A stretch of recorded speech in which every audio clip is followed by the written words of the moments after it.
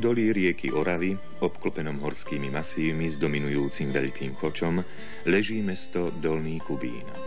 Prostredie, ktoré posilňuje i podmaňuje. Možno aj preto sa stalo obľúbeným cieľom mnohých básnikov, prozaikov a maliarov. V nasledujúcich minútach nášho filmu spoločne zalistujeme v histórii tohto mesta a priblížime vám, akými premenami prešlo v priebehu stáročí, kým získalo dnešnú podobu. Predstavíme vám pamiatky, na ktoré sú právom hrdí všetci oravčania a ponúkneme vám aj niekoľko námetov, ako tu môžete užitočne stráviť chvíle oddychu.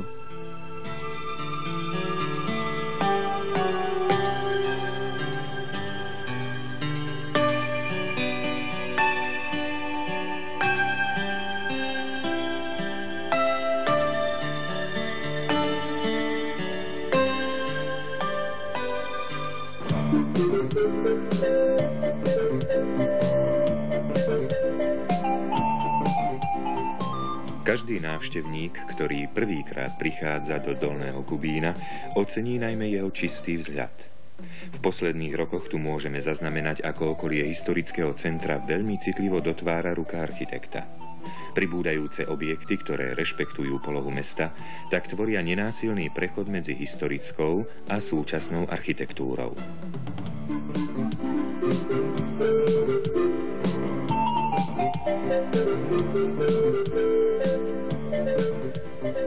Obyvatelia Dolného Kubína si vážia pôvod svojho mesta a podľa toho sa aj starajú o objekty, ktoré pripomínajú jeho slávnu minulosť.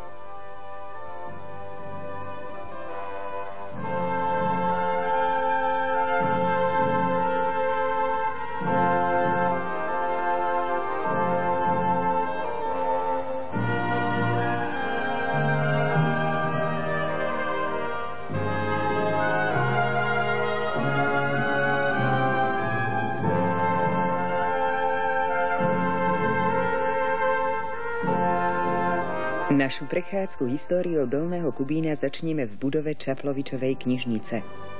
Jej vznik je spojený s menom Vavrinca Čaploviča, ktorý v roku 1839 venoval svojim rodákom 20 tisícovú zbierku kníh. Môj jediný cieľ pri založení tejto knižnice je, aby som napomohol rozumovej vzdelanosti a tým i vyššiemu šťastiu medzi svojimi rodákmi, preto knihy sú určené nielen pre učených, ale aj pre remeselníka a sedliaka. Dnes má knižnica už 84 tisíc veskov. Najstaršia kniha Opus de Universo pochádza z roku 1467 a jej autorom je Rabanus Maurus.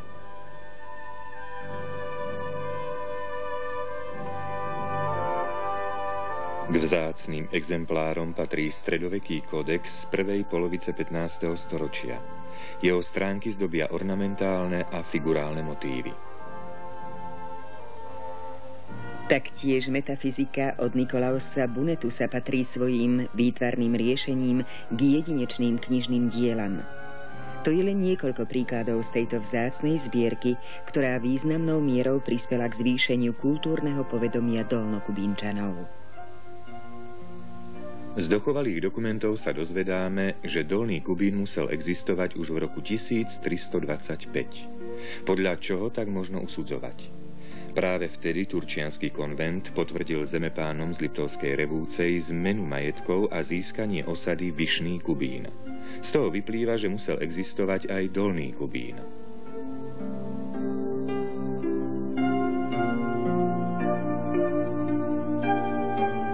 Prednosťou Dolného Kubína bola už vtedy jeho poloha, pretože ležal na dôležitej obchodnej a vojenskej ceste tzv. Ptolemajovskej, spájajúcej krajiny Baltu s Jadranom.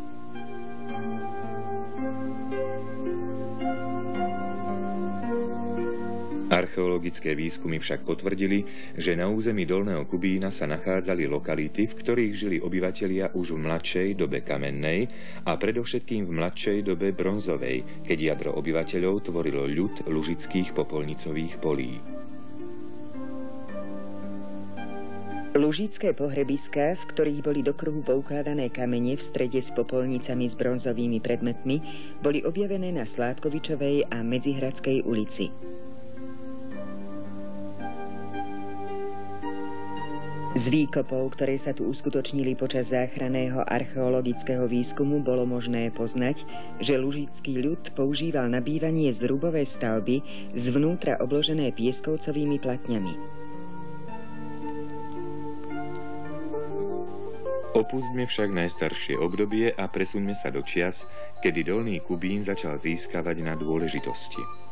Medzníkom v dejinách mesta je rok 1632. Vtedy riaditeľ oravského komposesorátu Gašpar Iležházy za ročný poplatok 40 zlatých oslobodil obyvateľov od vykonávania robotných povinností a povýšil ich na mešťanov.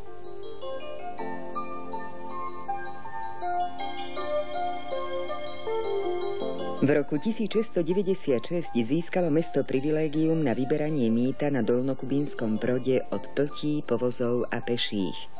V tej dobe cesta z Liptova na Oravu viedla cez Žaškov a Veličnú.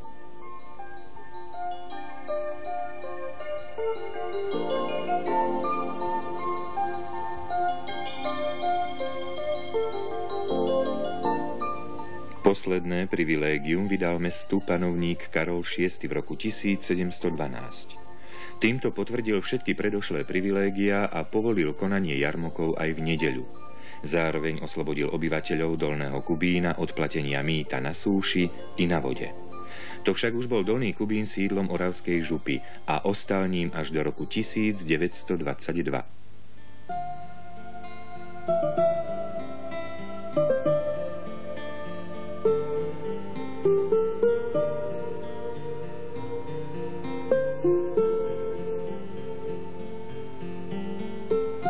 Srdcom každého mesta bolo námestie, ktorému sa častokrát prispôsobovala aj ďalšia výstavba.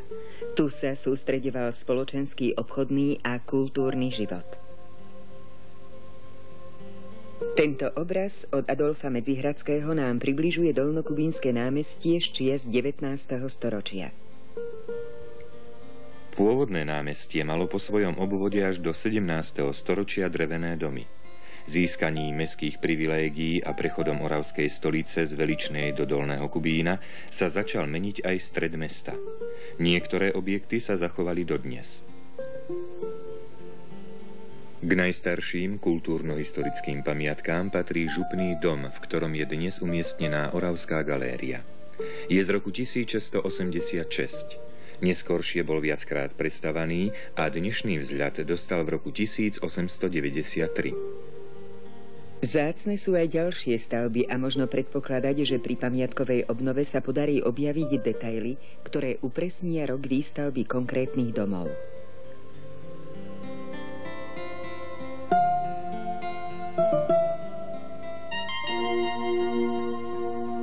V tesnej blízkosti námestia je katolícky kostol postavený v gotickom slohu. Interiér zdobia nástenné malby, plastiky s náboženskou tematikou a ďalšie predmety, ktoré prezrádzajú pôvod tejto historickej pamiatky.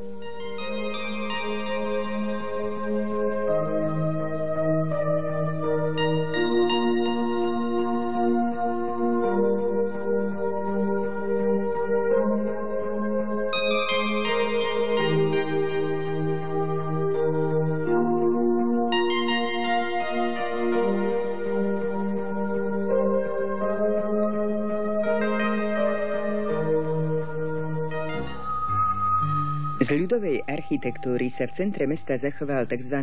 Florinov dom v Kohútovom sade. Tento dvojpodlažný remeselnícky objekt má zaujímavé riešenie.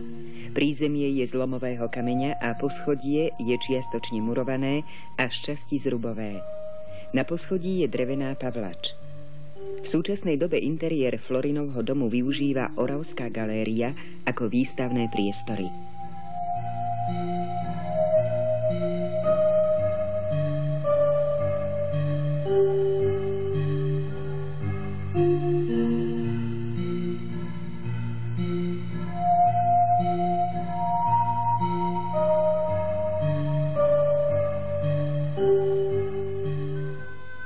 Kubín už v minulosti bol známy ako kultúrne a národne uvedomelé mesto. Skupiny vlastencov obetavo venovali všetky svoje sily k povzneseniu národného ducha miestneho obyvateľstva. Patril k ním Janko Matuška, tvorca hymny na Tatrov sa blízka, Cibor Zoch, Peter Bohúň, Leopold Bruck, Samuel Novák a Andrej Radlinský. Na udalosti v roku 1848 reagovali oravskí národovci na zhromaždení v Geceli požiadavkami za zrovnoprávnenie slovenského jazyka s maďarským. Aj v neskorších rokoch sa tu hralo slovenské divadlo, pracoval tu slovenský spevokol, poriadali sa tradičné slovenské bály.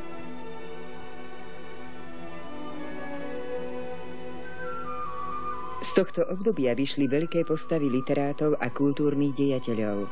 Martin Kukučín, Ladislav Nádaši Jége, Andrej Halaša a Pavol Orsák Hviezdoslav.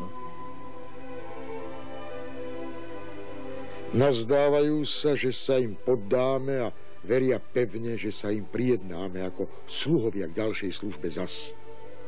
Potrebujú len aspoň službe nás.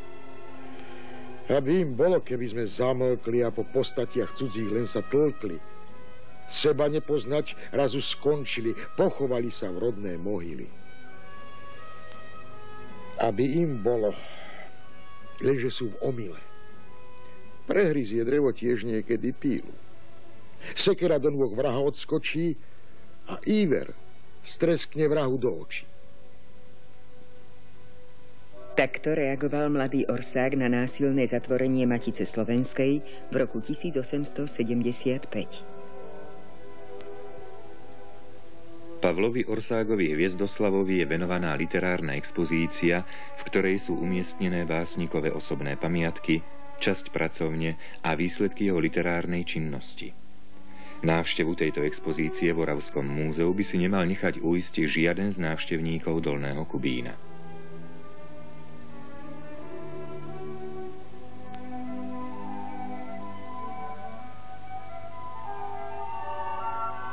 V mnohých dielach horavských literátov je primárnou myšlienkou život tunajšieho ľudu. Dnešným generáciám ho názorne približujú expozície ľudovej architektúry. Časť dolného Kubína Srňacie sa rozkladá v malebnej dolinke obklopenej lúkami a vencom hôr. Interiéry dreveníc sú zariadené v pôvodnom štýle a sú vyhľadávaným miestom turistami, ktorí chcú stráviť dovolenkové dni v duchu chalupárskeho života.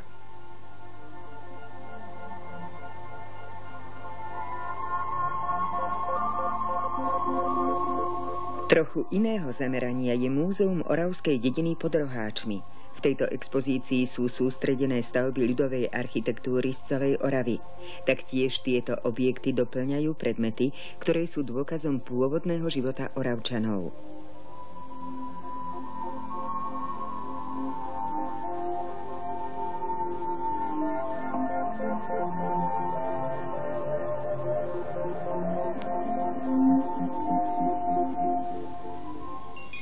Obyvatelia Oravy sa väčšinou venovali poľnohospodárstvu, ktoré bolo takmer do polovice 20. storočia často jedinou formou obživy.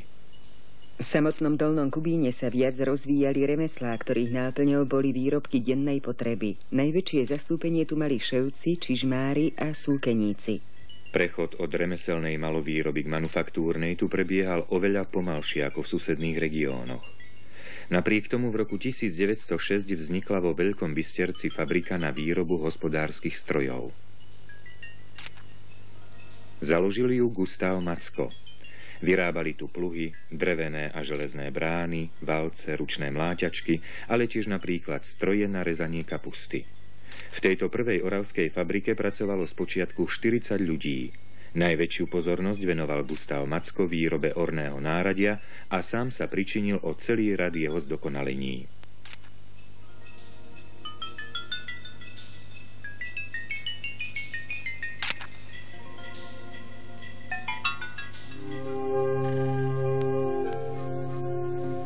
Aj dnešné dolnokubínske podniky vychádzajú z daností tohto regiónu. Výrobky mestského podniku Elkop si získali záujem zákazníkov svojim moderným dizajnom a širokou variabilnosťou. Po výrobnom programe majú skladacie rebríky, teplovodné telesá, elektromateriály, ale tiež výrobky z plastov.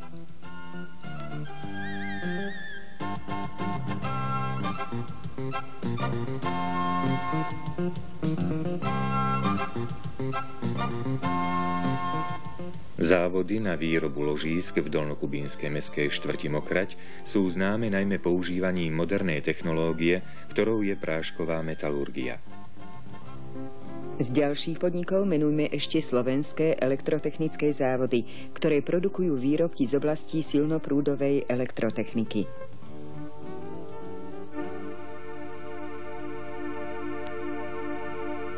Každý, kto niekedy navštívil tento prekrásny kút Slovenska, rád sa sem vracia. Je toho veľa, čo ponúka návštevníkovi Dolný Kubín a jeho okolie. Stačí prejsť len niekoľko stoviek metrov od centra mesta a ste v areáli zdravia Kuzmínovo. Z jeho chodníkov sa vám otvorí výhľad na mesto a rieku Oravu.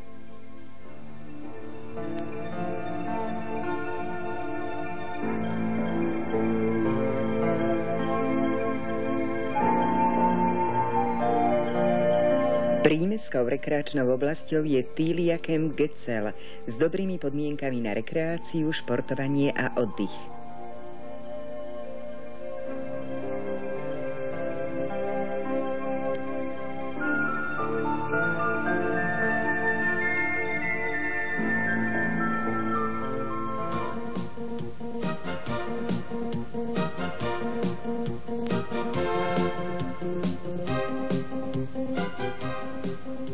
Široké možnosti ponúka aj športový areál priamo v meste. Sú tu sústredené športoviská a zariadenia pre najrôznejšie druhy športových aktivít. Prednosti týchto zariadení oceníte najmä pri regenerácii síl po celodennom výlete.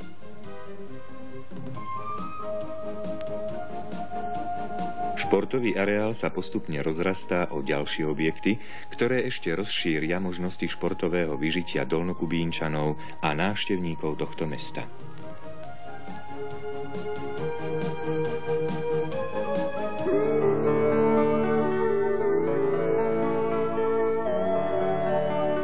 Okolie Dolného Kubína ponúka bohatý výber miest aj na celodenné výlety, či už pešie alebo formou autoturistiky. Nedaleko drevenej dedinky Srňacie je rekreačné stredisko s komplexným vybavením s celoročnou prevádzkou.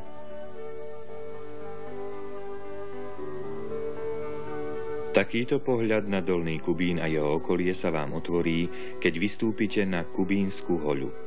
V nadmorskej výške 1240 metrov je chata, ktorej služby oceňujú najmä lyžiari a vyznavači pešej turistiky.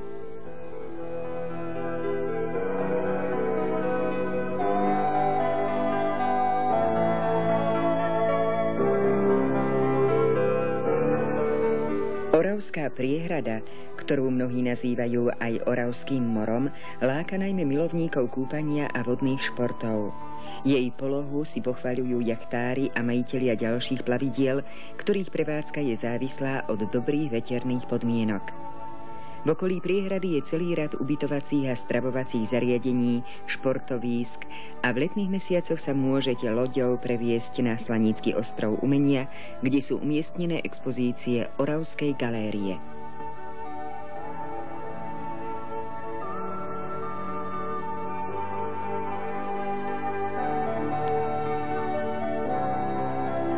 Vyznavačom vysokohorskej turistiky odporúčame výlet na Roháče s návštevou Múzea Oravskej dediny pri Zuberci. Ako na dlani sa vám tu predstavia stavby premiestnené z rôznych oravských regiónov. Jednotlivé objekty sú zariadené podľa toho, akému účelu pôvodne slúžili. Takže po návšteve tohto múzea si urobíte predstavu o živote predošlých generácií Oravčanov.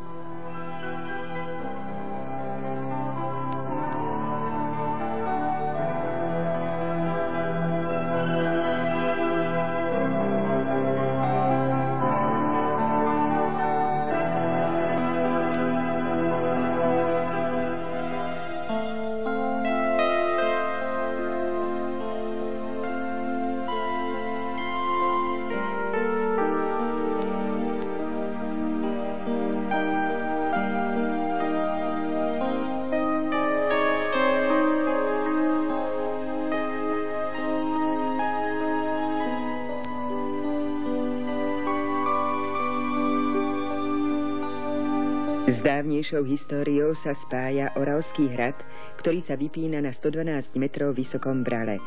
Je opradený množstvom legend a historiek. Tie na vás dýchnú, keď prechádzate jeho nádvoriami a začnete si detailnejšie všímať jednotlivé zákutia. V priestoroch hradu je umiestnená aj vlastivedná expozícia Oravy.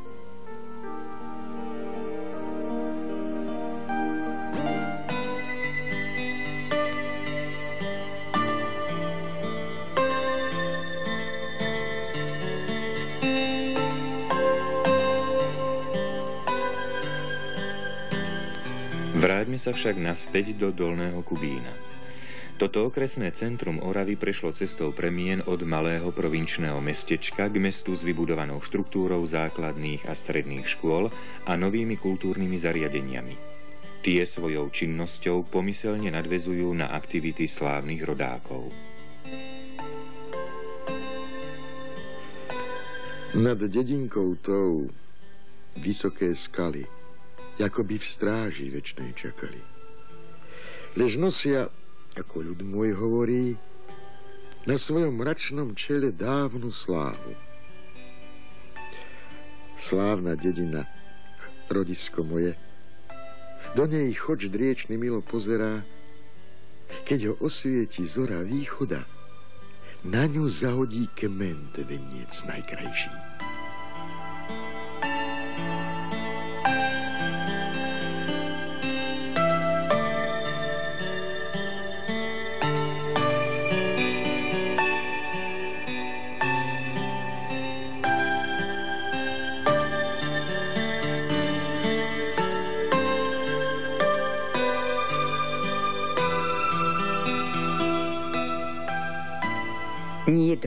Básnika, skladateľa či výtvarného umelca, ktorý by nezatúžil tento kraj opísať slovom, piesňou či štepcom. Dolný Kubín sa právom radí k mestám, kde sa v minulosti prebúdzalo národné povedomie Slovákov. Na tieto snahy svojich dedov a pradedov sú hrdí aj dnešní obyvatelia Dolného Kubína. Súzvuk histórie so súčasnosťou sa tu každým dňom pretavuje do nových aktivít.